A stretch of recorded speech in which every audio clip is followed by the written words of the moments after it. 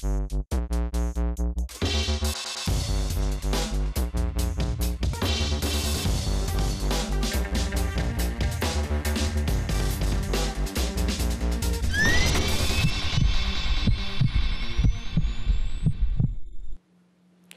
утро на всички, избрали за начало на деня си канал 3.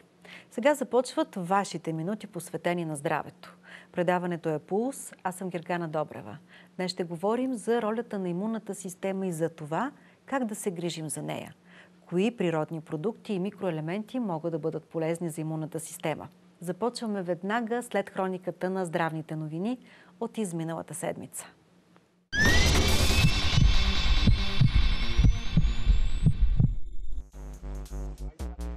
Премиерът Бойко Борисов обясни, че за страните, които произвеждат голяма част от енергията си с въглища като България, преходът към климатична неутралност ще изисква по-високи инвестиции и активни мерки в социалната сфера. В България 46% от електроенергията се произвежда от въглишни централи, като през зимата този процент достига до 60%. В същото време искам да отбележа, че според статистиката на Евростат България е на второ място в Европейския съюз по намаляване на емисиите на въглероден диоксид от изгарянето на изкопаеми горива за 2018 година в сравнение с 2017 е именно с 8,1%, следвайки Португалия, която взема водещата позиция с 9%. Министър-председателят призова на подобни срещи да присъстват и Съединените Американски щати и Китай, тъй като те са най-големите замърсители. Той отбеляза, че Европейският съюз произвежда едва 9% от световните вредни емисии. Първия и втория замърсител, най-голям в света, ги няма тук. Това са Съединените щати и Китай. Да направим така, че с нашите 9%, които ние ще намалиме и да безспорно Европейския съюз е лидер, но да не правиме това безмислено, а да вкараме гражданската енергия, да поставиме здравето и качеството на живот на всеки един гражданин по света. Защото комините дали пушат в Штатите, в Китай или в Виетнам, всичкия климат идва, е, атмосферата го донася и при нас. Така че да се обединиме и всички заедно да накараме тези безспорно прогресивни в економиката си страни да се съобразят с чудовището, което идва в промените на климата. Благодаря, Педро, още веднъж поздравление. Представители на близо 200 държави са в Мадрид от днес до 13 декември за 25-та конференция по изменение на климата. Градът трябваше да организира форума в успешност само за няколко седмици. Чили се отказа от домакинството заради продължаващата повече от 40 дни социална криза и протести. Първите тестове с новите филтри започнаха още през миналата година, когато бяха монтирани 35 устройства в квартал Красна Поляна. Ефектът е доказан. 80% е ефективността на използването на филтри. В програмата за филтрите сме насочили усилията към районите Красна Поляна и Слатина. Два от районите, където знаем поради спецификата на районите, има много домакинства, които не могат да се включат в другите програми, а в същото време влияят на въздуха за всички нас. В момента са монтирани 7 или 8 до края на декември искаме колкото може повече да се стига да позволява времето. Разчитаме поне на 70-80 да бъдат монтирани, за да може да се усети ефекта от тях. 90% от тези филтри ще бъдат поставени в квартал факултета. Армяна Байкушева се отоплява на твърдо гориво и е една от тези, която ползва пречистващия филтър. Година след монтажа му в домът им, тя усеща и ефекта от него. Запалваш, включваш го, вместо да започне да излиза черен дим, това се абсорбира, нали, твърдите частици, които са, излиза сивкаво. Това е нещо, което за сега поне може да допринесе за промяната на финните прахови частици. Филтрът заедно с монтажа излиза почти 4000 лева, като средствата се предоставят безвъзмезно от столична община. Тригодишната програма се очаква да обхване общо 2000 домакинства. Още до края на тази година 180 семейства ще могат да се възползват. Филтъра работи на електростатичен принцип. Софтуера, който е пригоден в филтъра, позволява филтъра да харчи 30 вата консумация, което е като една кружка в кухнята. Очакванията на столична община са с тези мерки до 3 години да намали с една трета замърсяването на въздуха. Първоначално в план сметката за до година беше предвиден ръст от 6,7% до 234 лева и 12 стотинки. Но между първо и второ четене на бюджета управляващата коалиция заложи по-висока пенсия от 250 лева. От опозицията предложиха друго. По-високата сума да се получава още от 1 януари, а половин година по-късно размерът на пенсиите да достигне 300 лева. Червен картон получи идеята на опозицията за поименно гласуване на текстовете, касаещи минималната пенсия. Именно това предложение предизвика скандал около трибуната в пленарна зала късно с нощи. Това ще покаже пред българските граждани, пред избирателите на всички тук представени парламентарни групи, кой лично, индивидуално, народен представител, как ще гласува по предложението на господин Недялков и на БСП за България за увеличаване на минималната пенсия на 300 лева. Благодаря ви. А днес дебатите в зала продължиха и по другите пера в Закона за държавното обществено осигуряване. Новият социален министр Деница Сачева призова депутатите да не гледат само числата, а да вложат разум и смисъл във вота си в пленарна зала. Този бюджет действително трябва да прави баланс между всички интереси, между приходи и разходи и между интересите на абсолютно всички хора, които зависят от бюджета, който ще приемете днес. Общите разходи за пенсии за следващата година ще бъдат малко над 10 милиарда лева. Пожар избухна в онкологичното отделение на Пловдивската болница и доведе до евакуация на пациенти. На сигнала са се отзовали и два екипа на пожарната. Причина за инцидента е проблем в електрическата инсталация. Огънят е тръгнал от вентилатор в санитарно помещение. За по-малко от 5 минути пожарникарите са потушили пламъците. Направен е оглед на място, а достъпът до етажа е ограничен. Няма пострадали пациенти. Пациент е подал сигнал на системата, която е вътрешната уведомителната, че има някакъв проблем. Дошли са сестрите, видяли са за какво става въпрос, дошли са вече хората от поддръжката, установили са какво се случва и оттам нататък по реда на нещата са повикали пожарна и полиция. Не е имало опасност нито за пациенти, нито за персонал. Ами просто по едно време усетихме миризма и в последствие разбрахме, че е ставало въпрос за пожар, но нямахме идея.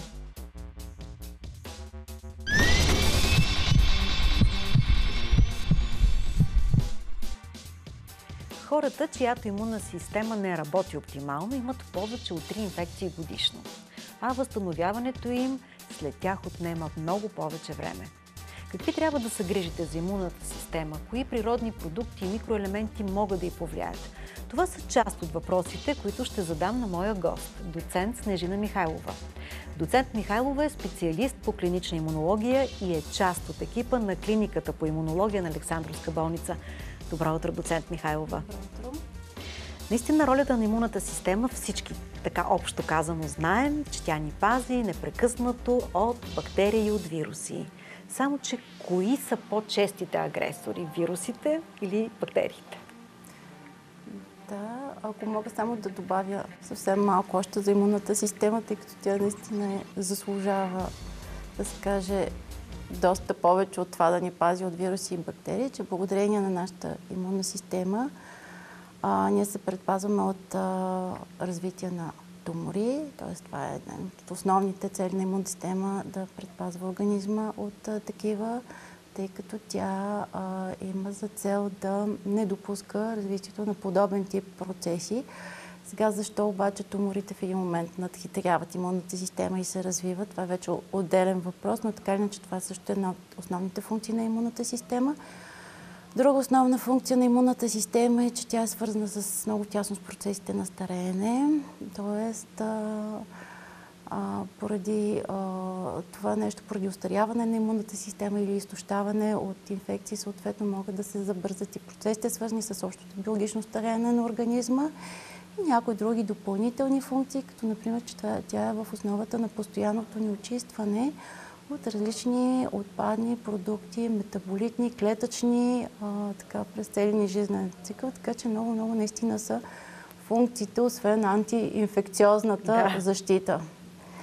По отношение на това, кои превалират вирусните или бактериалните атакуващи а, инфекции, Бих казала, вирусите са, за съжаление, много в пъти повече от като частота вирусните инфекции, отколкото бактериалните. Защо? За, за, съжаление, защото разполагаме с много по-ограничен арсенал да противодействаме на една вирусна инфекция. Да, разбира се, има антивирусни препарати, разработени така с отдачен добър ефект за точно определени вирусни инфекции, но за повечето от вирусите, които са едно огромно разнообразие, за съжаление разчитаме единствено и само на имунната система и ако тя действително не, не, не функционира добре, поради някакъв начин е компрометирана, тогава а, ще имат и по-неблагоприятни последици именно тези вирусни инфекции. Да кажем само, ако говорим в процентно съотношение, едни инфекции на горни дихателни пътища в детска възраст, около 85-90% се причиняват от вирози. Само 10% са бактериалните причинители, така че може да си направите заключение за каква, какъв дисбаланс става на въпрос. Да не говориме, че хората, за съжаление, пак така сме предразположени да носим и някои хронични латентни вируси, а, които персистират до края на живота, без да може имунната система до края да се справи с тях, което също е един доста така наболял проблем в последно време и на който така се отделя а, много внимание именно за ролята пък на тези латентни, постоянни вируси, които а, си живеят в нас. Си живеят в нас, да. Да, затова всички казват, трябва да имаме добър имунитет. Точно така. Имунната система да е добре балансирана, за да може да се справя с всичко.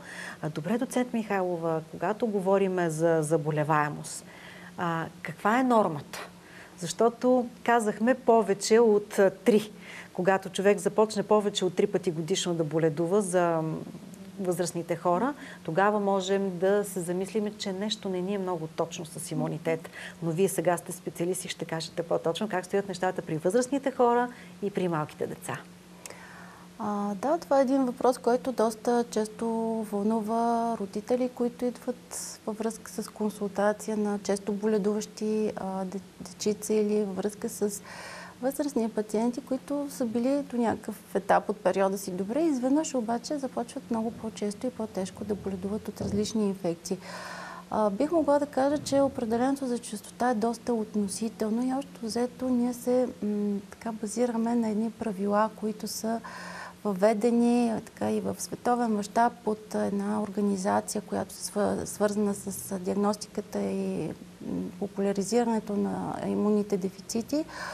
А, но пак казвам, а, доста е относително разделението. Например, при деца може да е една частота, при възрастни друга, обикновено при дечица а, над а, две пневмонии или пък над 8 отители, инфекции на горните дихателни пътища са така като някакво ниво на разграничаване от често от прекалено вече много, при което трябва да се търси действително имунен дефицит. Разбира се, има и много други критерии, освен частота на инфекциите. Например, как децата се оправят под инфекции или възрастните, дали а, едно така, симптоматично лечение или дори прием на антибиотици би оказал добър ефект или те не биха се повлияли. Необходимо е да бъдат допълнително хоспитализирани в болница. Необходимо е да се вливат венозни антибиотици, дали имат някакви други смущаващи прояви извън инфекциите. Това всичко трябва да се вземе в а, съображение. За възрастните също е така доста спор на границата на често боледуващи и не толкова, но кога може някой да се притесни действително. Пак казвам, ако наистина до, до някаква възраст той е бил в относително добро състояние по отношение на инфекциите и изведнъж започват много по-често. Има хора, които казват, ами от една година аз всеки месец съм да. почти болен или не мога да се възстановя до края от инфекция в име, постоянно има болки в гърлото и някакви други симптоми. Това вече е на алармираща така, предпоставка човек да потърси и хората действително общо взето доста и правилна субективна оценка имат за тяхното състояние. Да говорим, че ходят и преди това да консултации с други специалисти, които ги насочват допълнително за изследване на имунната система. Единствено към родителите моят апел нали, е, че те са малко по-притеснителни а, тъй като няма родител, който да не се притеснява, когато детето им е болно. Там вече правилото за чистота не въжи. За тях повечето дечица, за повечето родители децата им са постоянно болни, често боледуващи. Обикновено обаче разграничаването е ако тези зачастяване а, почва след а, при, а, прием в детско заведение, т.е. ръгване на градина или а, в, учи, в там, начални класове, ако не е ходил детето на градина, на ясла. И ако действително нямате такива тежки последици, тогава бихме могли да сме по-спокойни.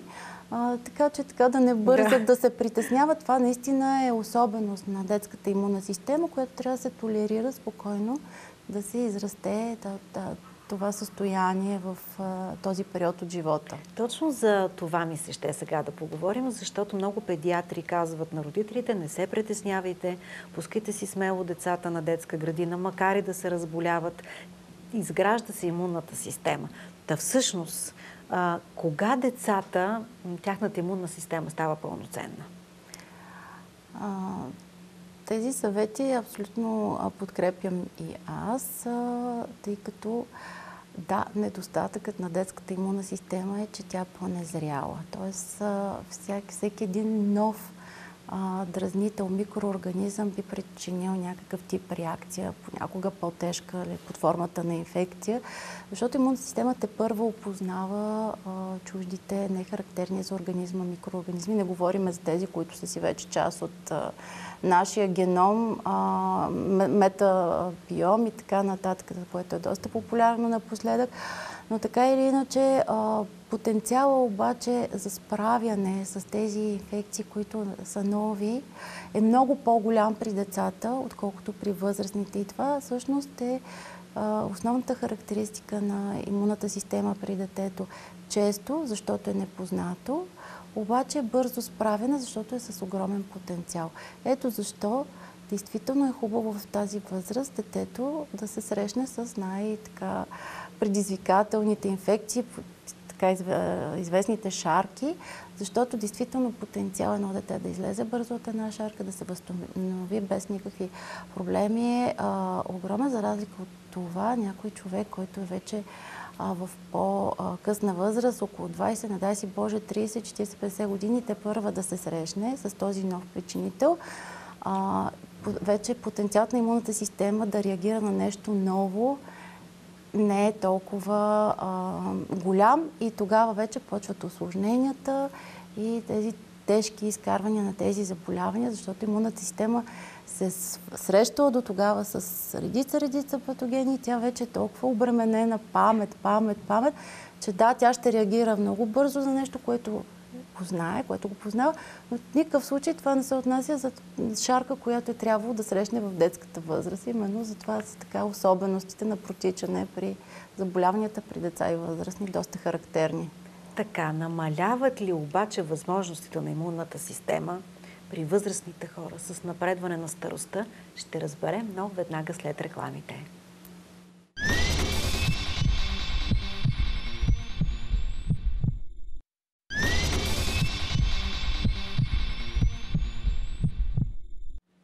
С доцент Снежина Михайлова от Александровска болница сме в студиото. С нея говорим за имунната система.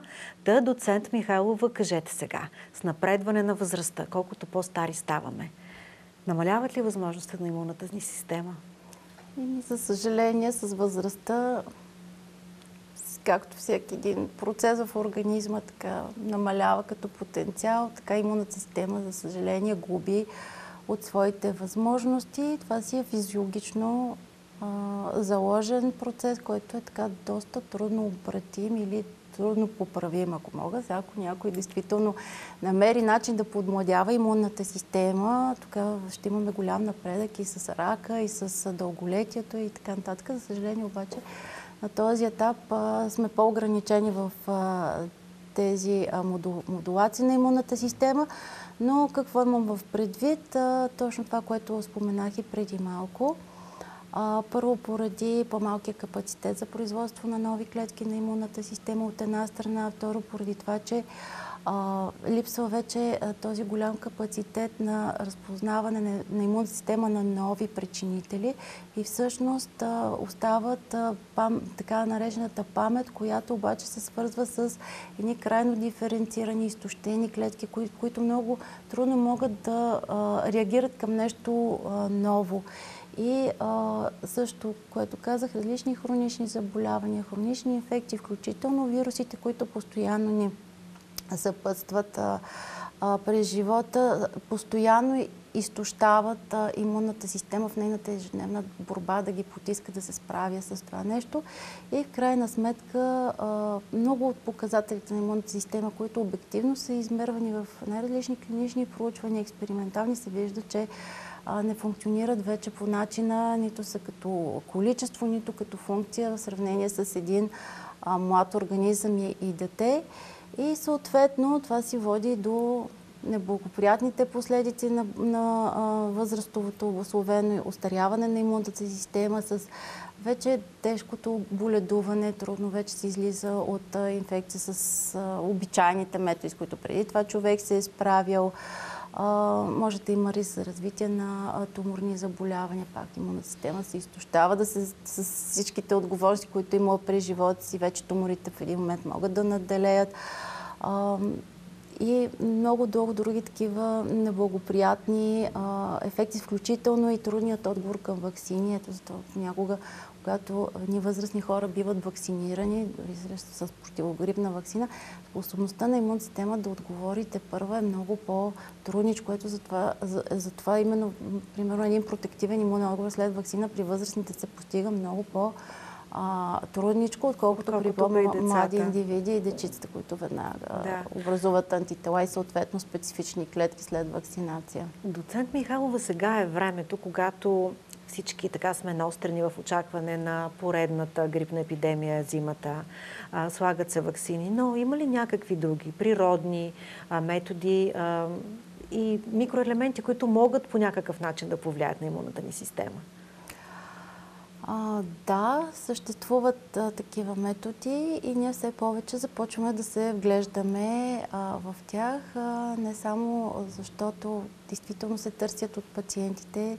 Повечето пациенти ми прави впечатление, че така, имат голямо желание да ползват наистина природни продукти, природна медицина, отколкото а, действително синтетични а, вещества. Не, не успорвам в никакъв случай ролята и на тези, а, този тип, но при някои по-леки нарушения действително може да се използват и а, природни продукти под формата на хранителни добавки. Да не говорим, че много от а, тях са се доказали така още с древността и в различни други култури и нации като ефективни, натрупват се много бързо вече клинични доказателства за а, тяхното значение, така даже от някои от тях са и доста обещаващи и дори има и, и значителен брой клинични проучвания вече дори в а, агенцията, която е по храни и лекарства в щатите, ако слезете и направите справка за клинични проучвания за витамин D или за някои екстракти от гъби, ще видите един огромен а, лист от хиляди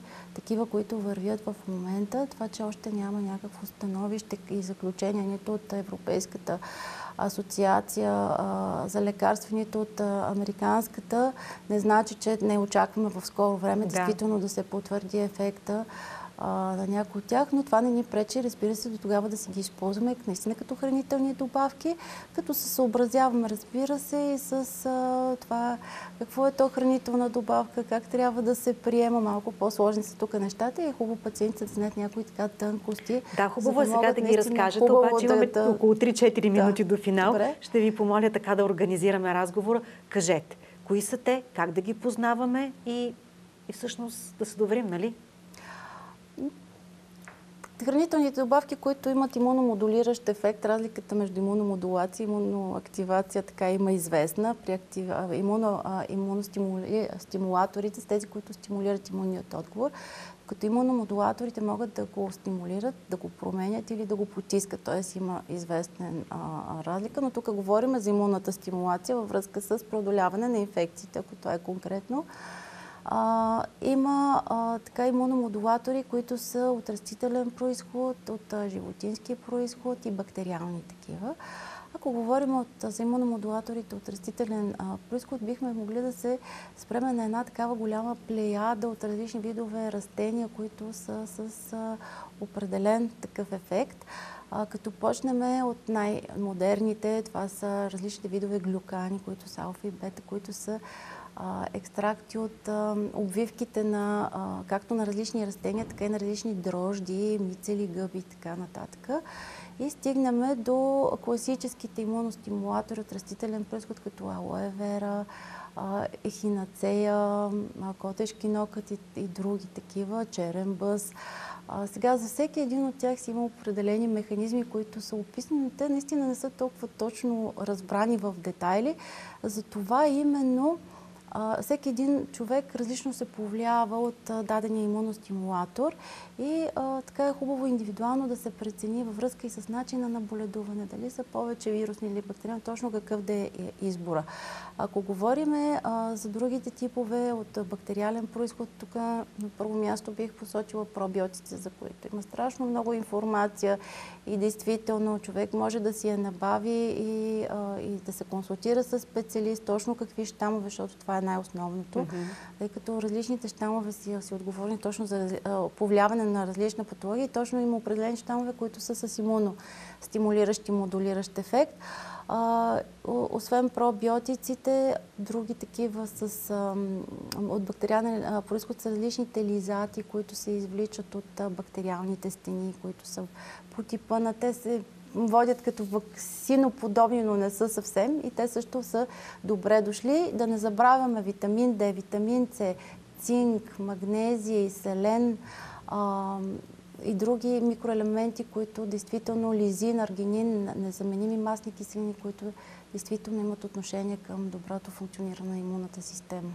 Сърдечно ви благодаря, доцент Михайлова, за това участие. Надявам се, че бяхме полезни на всички, които искат да научат повече за имунната си система. Това бяха днешните здравни минути. Нашите срещи ги знаете. Всяка събота и неделя, точно в 8 сутринта. Спокоен ден!